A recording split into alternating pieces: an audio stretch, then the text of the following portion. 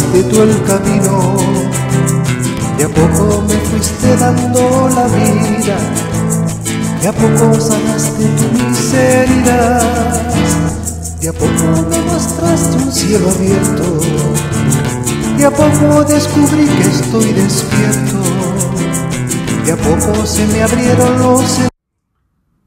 Vamos caminando, vamos caminando según el Espíritu el Espíritu de Dios, el Espíritu del amor, o vamos caminando por el camino del, desprecio, del orgullo, la soberbia que el mundo me dice, ¿ah? muy difícil, me han dicho por ahí, hermano, eso es utópico. Este hombre vino para que yo pudiera salvarme, para que yo pudiera vivir en la paz, en el amor. Él venció todo eso y me da lo mismo para que yo lo pueda hacer, hermano.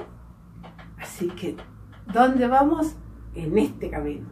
Felices, sí, lo puedo, me cuesta, pero con el Señor veo que cada día me aligera más el paso, cada día me aligera más mi caminar. Le voy poniendo todo a sus pies. Y él a los pies de la cruz, todo perdonado.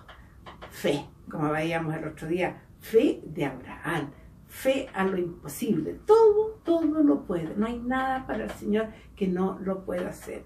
Así que veamos hoy día qué es lo que nos va a decir. Y tenemos que, vamos ya en Gálatas, vivir según el Espíritu. Cada uno vive según lo que decide. Hay gente que vive según lo que piensa el futbolista, según lo que piensa el artista, según lo que piensa eso, oh, yo, yo lo sigo porque es tan importante y me sé la vida entera y sé cómo piensa, me he visto como él. Bueno, nosotros vivimos según el Espíritu tenemos que conocer al Señor y lo conocemos a través de su palabra. Que el Espíritu Santo nos ayuda, que el Espíritu Santo nos guía y nos ilumina. Así que veamos hoy día que nos ilumina y vamos, estamos viendo los frutos, ¿ya?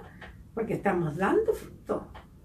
Ya sembramos con el tiempo, entonces ahora es el tiempo de dar fruto. ¿Y qué fruto vamos a dar? Aquí el Señor nos va a mostrar. ¿Cuáles son los frutos? Bueno, que la gente va a querer, oh, yo quiero estar ahí, o sencillamente me separo. Y mira lo que nos dice la palabra ojo. En cuanto a los frutos de esos desordenados apetitos son bien conocidos.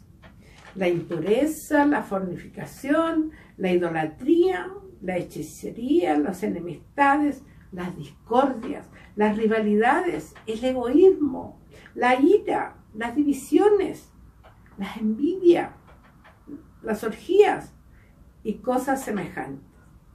Los que hacen tales cosas no van por el camino del Espíritu. Palabra de Dios. Ahí, hermano, es muy difícil entender la Biblia. Es muy difícil entender esto que me dice el Señor. ¿Cuáles son los frutos de mi vida desordenada? ¿Cuáles son los frutos de ese camino donde voy, que estoy perdido, que estoy ahí en manos de Satanás? Bueno, los frutos van a ser la impureza, las enemistades, enojados con todo el mundo, las discordias, la envidia, el egoísmo, yo solo, las iras, enojados a cada rato con una cara así, y no esa cara llena del amor del Señor, ¿ya? Entonces, ¿qué pensamos? Nuestra vida, ¿por qué camino va?